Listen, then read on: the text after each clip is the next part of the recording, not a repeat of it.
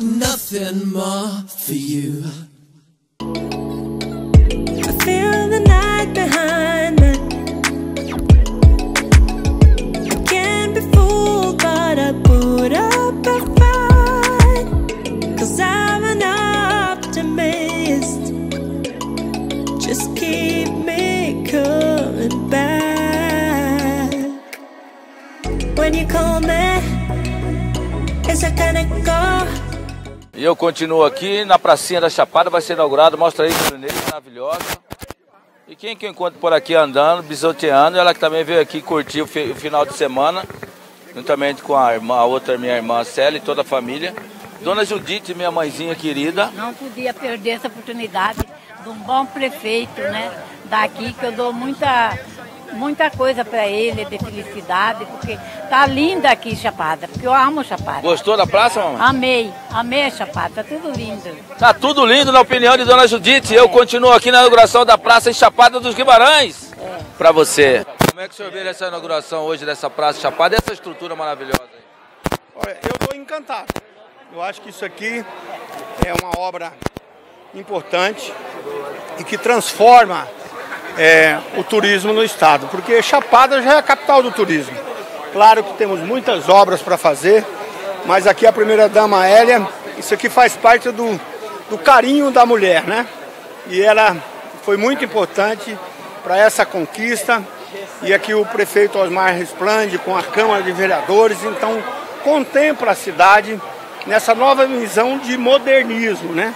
Então, portanto, essa, essa praça aqui é o chamariz para que a gente possa, inclusive, mostrar para Brasília que o Parque Nacional de Chapada é importante ser administrado por quem vive aqui. Porque às vezes uma obra pequena, simples, pode transformar a cidade. E aqui nós temos o exemplo do Portão do Inferno. Tem uma emenda minha de 18 milhões, um recurso disponível para fazer o estacionamento, para mostrar aquilo com uma, uma, uma grande bancada de vidro, a contemplar aquilo e o ICMBio não aprova. Então, olha só, o dinheiro disponível que poderia salvar a vida e ali está sendo um problema. Tanto é que agora estamos vivendo aquele desmoronamento.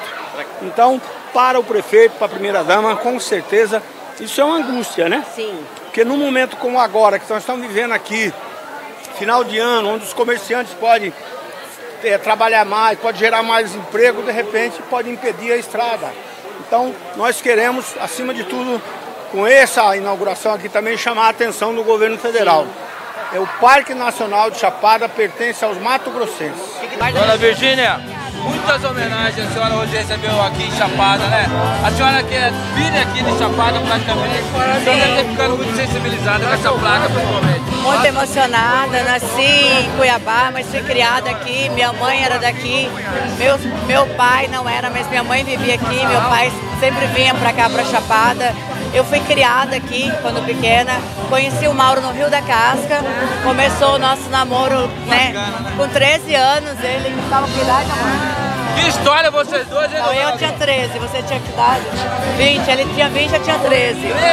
Começamos no Rio da Casca e depois nos encontramos em Cuiabá, casamos, tivemos filhos, então eu sinto que eu sou daqui, é a minha terra e eu fico muito feliz em poder estar junto com a primeira dama, com o prefeito, agilizando e fazendo essas ações tão bonitas aqui. Deputado Botelho Dona Sônia cumprimentando os amigos aqui, os parceiros. Deputado senhor Dona Sônia que praticamente ficam aqui, sempre aqui em Chapada, tem residência aqui, gosta. Como é que o senhor vê essa estrutura, essa nova roupagem aqui para Chapada dos Guimarães, essa praça maravilhosa? Olha, eu acho que é um, é um marco, né? uma virada de página, antes e depois aqui na Chapada. Agora o turismo vai estar sendo potencializado aqui com essa obra da, da rua, da praça e também com as obras que estão vindo aqui.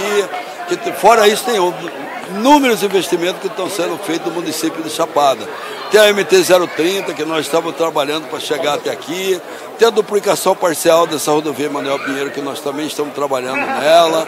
Tem muitas obras aqui que vão ser feitas que eu tenho certeza que vai só impulsionar o turismo aqui nessa região de Chapada. E aqui isso, isso valoriza tudo, né? O comércio, os hotéis, os ambulantes, tudo acaba ganhando com esse movimento aqui. Mas é importante frisar agora que precisa resolver a questão do portão do inferno, Botelho, senão o turista não vem. Se essa questão do portão do inferno está sob controle, está sendo analisada, a mudança dos caminhões e carreta foi importante.